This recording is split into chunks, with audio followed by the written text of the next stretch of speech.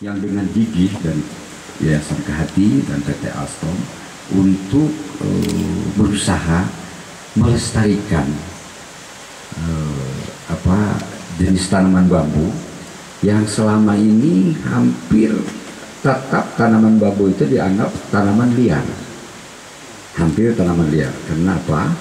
Uh, mungkin cirinya di masyarakat. Ya, hampir yang pakai setiap hari yang tanam tidak ada. Itu kalau kita pelajari luar biasa. Nah, karena itu maka uh, kalau uh, kami obrol-obrol dari Yayasan Kehati dan PT Alstom, akhirnya kami sepakat untuk membuat moto mengenai bambu hari ini.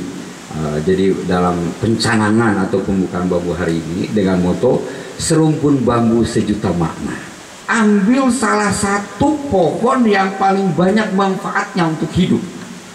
Itulah pohon bambu. Akan diwakili oleh Pak Wawan dari uh, lingkungan hidup uh, Kabupaten Bogor. Aja.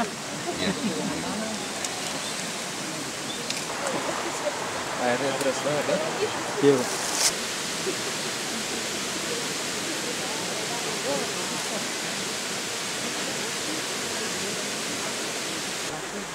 program will focus on planting various types of rare bamboo in several floodplains in the Jakarta and Bogor area. Three key benefits of this program are conserving biodiversity, preventing floods, and also providing economic and social benefits to the surrounding community.